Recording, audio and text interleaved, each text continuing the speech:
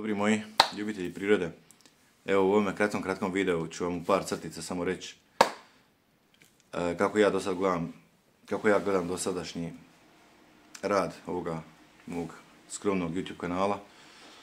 E, postavio bih vam par pitanja da me usmjerite kako da nastavim taj rad, te vam rekao koji su mi planovi, to jest šta ću snimati, šta vas može očekivati u sljedećim videima.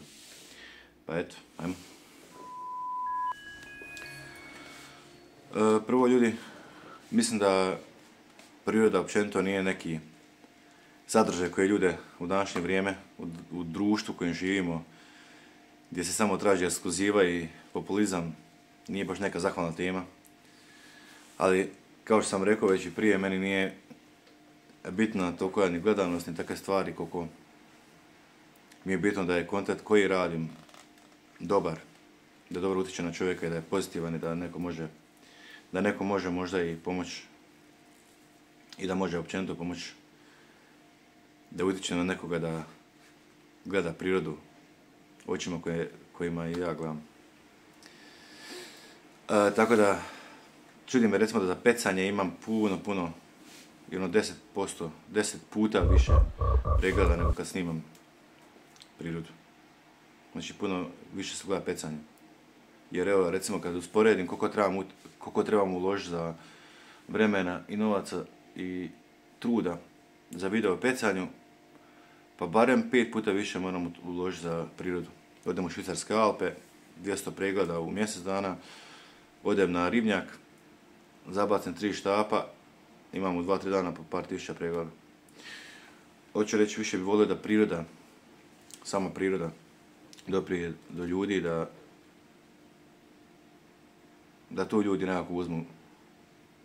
Bitnija mi je ta poruka iz prirode nego samo pecanja. Više vole da doprije priroda nego pecanje do ljudi.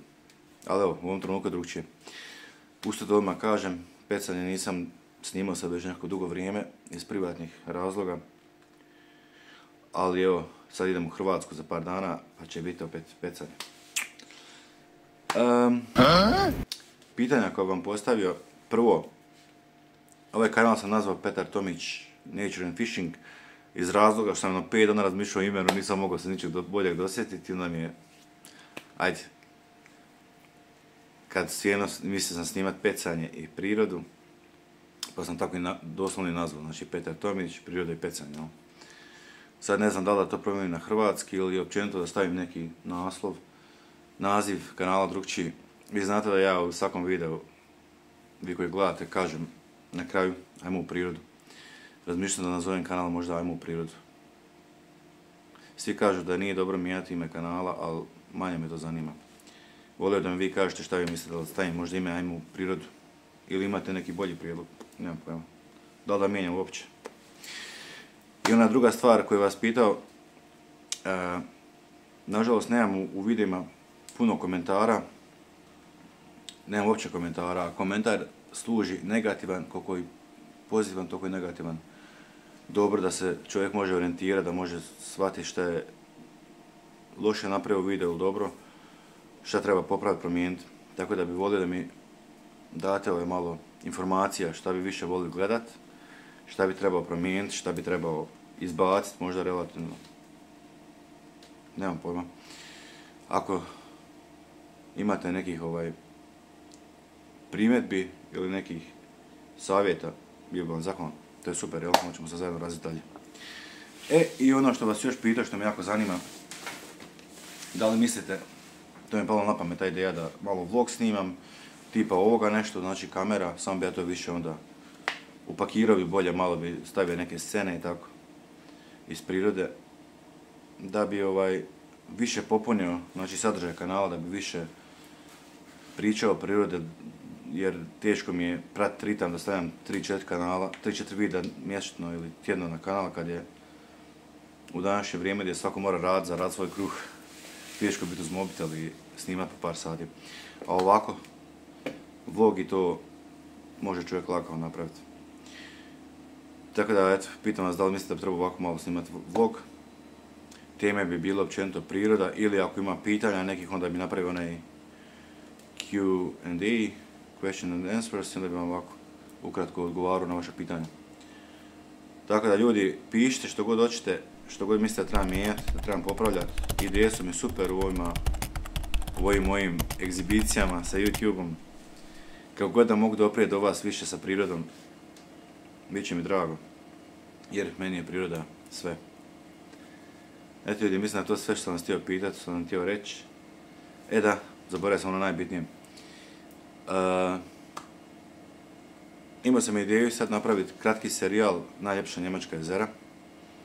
I tu idem sad za vikend u područje, u pojas ovih njemačkih Alpi. U područje Algau. Tamo ima samo predivni, predivni jezera. Tako da ću otići tamo snimiti. Mislim da će biti na tri videa odandje. Najljepša Njemačka jezera.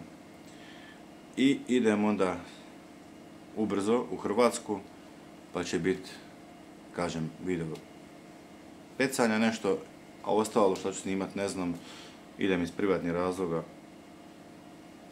Tako da ne znam kako ću stići snimiti, ali ako imate neke ideja što bi volili biti iz Hrvatske, a da mislite da bi se i meni svidilo, idemo zajedno onda.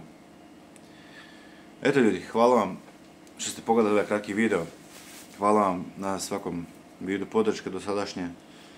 Nadam se da vam se sviđa ovo što radim. Nadam se da sam nekog utjecao do sada da više vremena odvoji za prirodu. Da uči svoju djecu o važnosti očuvanja prirode. Mislim da ćemo zajedno uspjeti i da ćemo se osvijestiti. Pa pet nas, pet nas, ali pet više. Jer priroda je sve.